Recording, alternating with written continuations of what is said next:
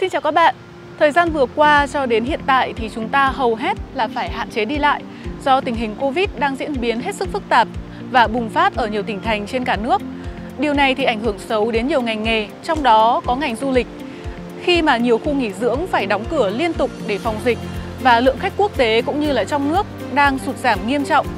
Ấy vậy mà có một khu nghỉ dưỡng đang đi lộn ngược dòng trong mùa Covid Họ thu về 9 triệu đô la Mỹ và lãi hơn 3 triệu đô la Mỹ trong thời gian vừa qua.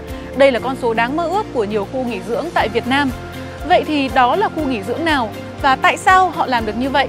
Thì ngay bây giờ nhà ở ngay sẽ bật mí cho các bạn cùng những thông tin sự kiện hot về bất động sản diễn ra trong tuần qua. Ngược sóng mùa Covid, khu nghỉ dưỡng sang chảnh Six Sen Ninh Vân Bay đón lượng khách cao kỷ lục Vingroup đã giải ngân gần 6.500 tỷ đồng vào dự án vành đai 2 cầu Vĩnh Tuy, ngã tư sở trong 2,5 năm. Vi phạm của khu Liên hợp Thể thao Quốc gia gây thất thoát gần 800 tỷ đồng.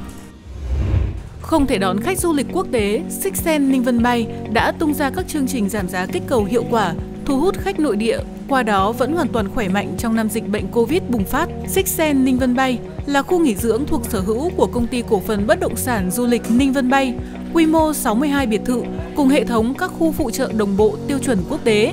Theo số liệu mới được công bố, khu nghỉ dưỡng này vừa có năm đón nhiều khách nhất từ trước đến nay với 41.627 lượt khách, tăng gần 5.000 lượt khách so với năm trước. Tỷ lệ lấp đầy phòng bình quân đạt 58%, cao nhất lên tới 92,04%. Giá phòng bình quân năm 2020 đạt khoảng 10 triệu đồng một đêm, Nhờ đó, doanh thu đạt 9 triệu USD và lợi nhuận trên 3 triệu USD. Đây là kết quả đáng mơ ước của bất kỳ khu nghỉ dưỡng nào tại Việt Nam trong năm 2020. Công ty Ninh Vân Bay cho biết dự án khu nghỉ dưỡng Six Sen Ninh Vân Bay giai đoạn 2 sẽ được triển khai trong thời gian tới. Dự án sẽ có khoảng 30 biệt thự, Resident Villa. Mỗi biệt thự sẽ là một tác phẩm nghệ thuật, quy mô từ 3 đến 5 phòng ngủ, giá trị ít nhất từ 3 đến 5 triệu USD cho một biệt thự dành cho một số lượng giới hạn những chủ nhân mong muốn sở hữu. Ninh Vân Bay dự kiến trong thời gian tới sẽ phát hành thêm 25 triệu cổ phần, huy động vốn thêm 500 tỷ đồng để phát triển thêm dự án nghỉ dưỡng cao cấp khác tại Mũi Né, Phan Thiết. Từ cuối tháng 8 năm 2018 đến hết năm 2020, tập đoàn Vingroup cho biết đã giải ngân gần 6.500 tỷ đồng vào dự án đường trên cao dọc đường vành đai hai cầu Vĩnh Tuy đến ngã tư Sở kết hợp mở rộng theo quy hoạch đoạn từ Vĩnh Tuy đến ngã Tư Vọng theo hình thức đối tác công ty PPP. Hợp đồng xây dựng chuyển giao BT. Dự án được khởi công vào tháng 8 năm 2018, có chiều dài 5,1 km. Theo kế hoạch, tuyến đường hoàn thiện và thông xe vào tháng 6 năm 2021. Tổng vốn đầu tư dự án là 9.400 tỷ đồng, trong đó có khoảng 4.000 tỷ đồng chi cho giải phóng mặt bằng, 3.000 tỷ đồng chi phí xây dựng và còn lại là các chi phí khác. Đến nay, điểm đầu của dự án kết nối với cầu Vĩnh Tuy cơ bản đã hoàn thành, bao gồm các hạng mục cầu chính bề mặt 19m, cầu dẫn bề mặt 7m. Các nhánh dẫn kết nối với đường bên dưới tại Vĩnh Tuy, ngã tư Vọng và ngã tư Sở. Điểm cuối của dự án đường vành đai 2 trên cao, trục Vĩnh Tuy, ngã tư Sở đã được đưa vào khai thác từ tháng 11 năm 2020.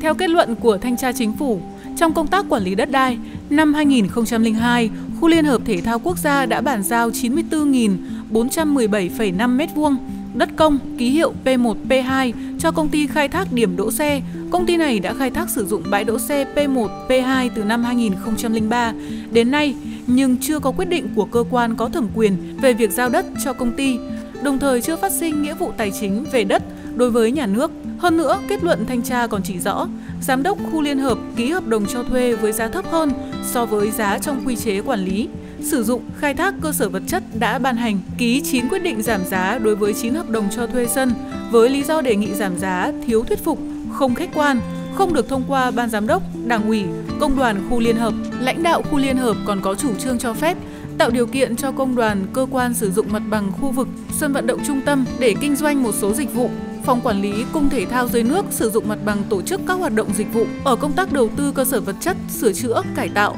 Một số nội dung thi công được chủ đầu tư, nhà thầu thi công, tư vấn giám sát, trung tâm kiểm định chất lượng xây dựng, sở xây dựng, nghiệm thu sai khối lượng, nghiệm thu khống khối lượng, nghiệm thu không đúng với thiết kế. Qua thanh tra, Tổng thanh tra Chính phủ kiến nghị Thủ tướng Chính phủ chỉ đạo và xử lý số tiền vi phạm của khu Liên hợp Thể thao Quốc gia là 776.000 945,962 triệu đồng.